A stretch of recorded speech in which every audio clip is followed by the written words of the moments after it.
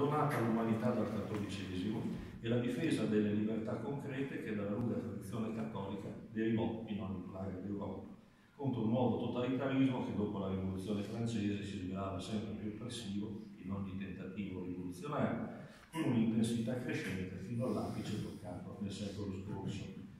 Alfonso I combatté questa buona battaglia con le armi per 23 anni, dal 1853 al 1876.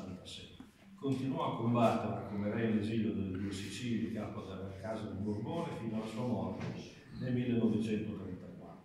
Contiamo quindi più di 70 anni di preziosa testimonianza cavalleresca cattolica e io come ultimo arrivato dell'ordine costantiniano ritengo che questa testimonianza cattolica di rigore e di vigore e di intransigenza, nel senso pieno del termine, sia veramente eccezionale.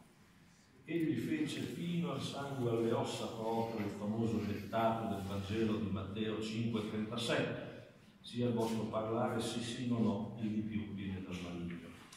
Finita la sua corsa, per riprendere un'altra pericope evangelica, conservata la fede, ha avuto dal più grande dei signori la, la corona della vittoria Ecco perché soprattutto oggi la sua testimonianza è quanto mai preziosa, perché è assolutamente attuale.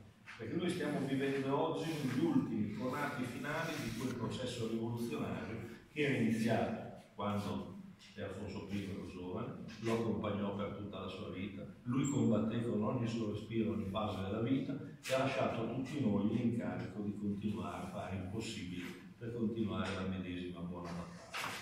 Io spero che a questa figura qualcuno dedichi, con ovviamente profondità e acume molto maggiore di questa scorribanda che sono riuscito a fare io, un. Bisognerebbe persino dedicare un film a quest'uomo, perché è una di quelle testimonianze viventi di cosa vuol dire combattere per la tradizione. Un combattimento che può essere in armis et sine armis, come le nostre formule di investitura ci tramandano, ma è sempre il medesimo combattimento.